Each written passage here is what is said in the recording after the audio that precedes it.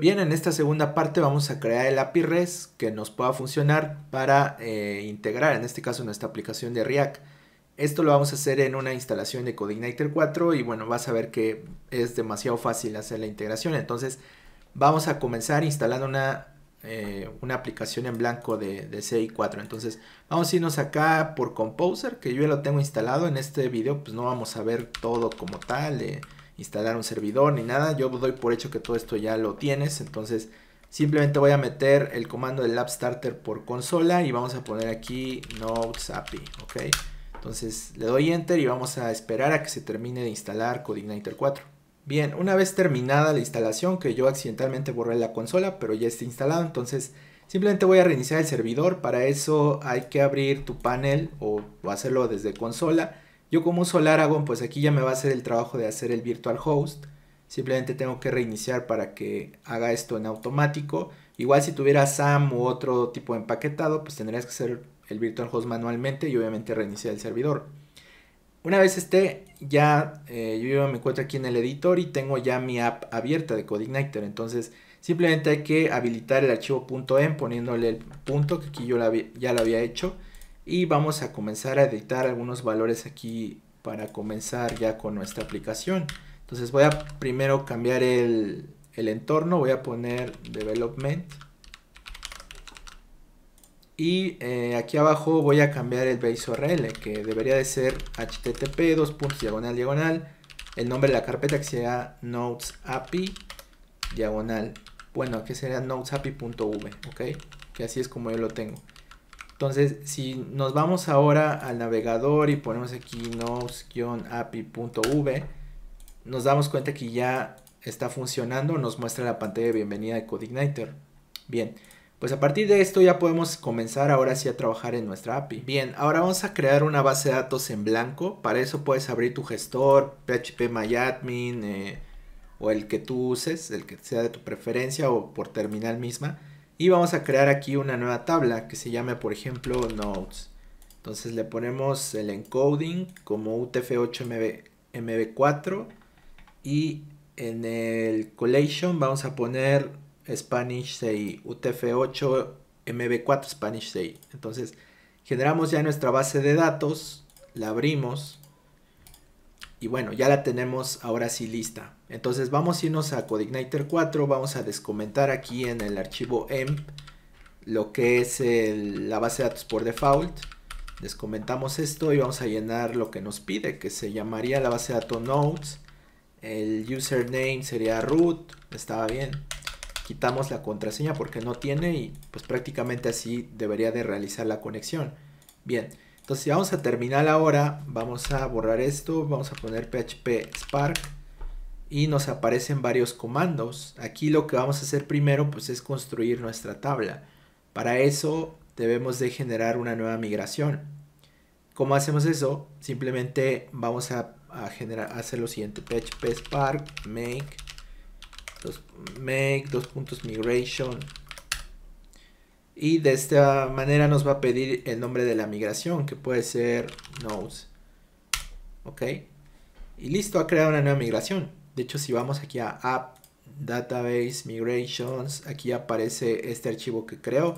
Recuerden que las migraciones pues nos ayudan a lanzar en forma de clases lo que es nuestra nuestra estructura de base de datos. Entonces vamos a poner aquí add field. This, no, perdón, es this forge. Add field. Y aquí podemos meter una raya con estos campos. Por ejemplo, vamos con el primero, que si nosotros analizamos nuestra app de React, simplemente vamos a necesitar tres campos, que sería el identificador, el título y el cuerpo. Entonces eso, ¿cómo lo hacemos?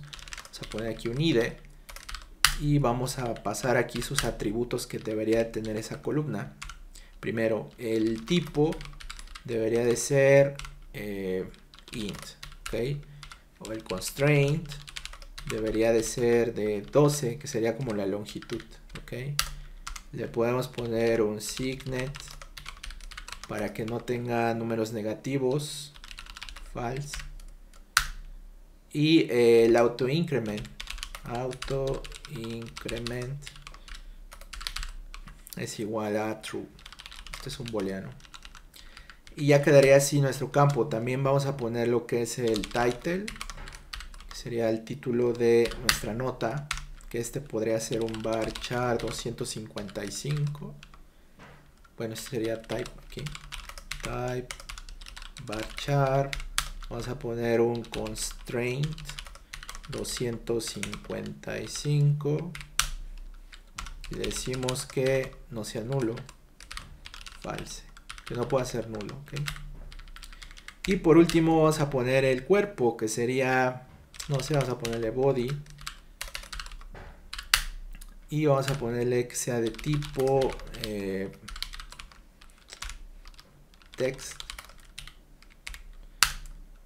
Sin constraint simplemente vamos a ponerle un nulo que sea falso.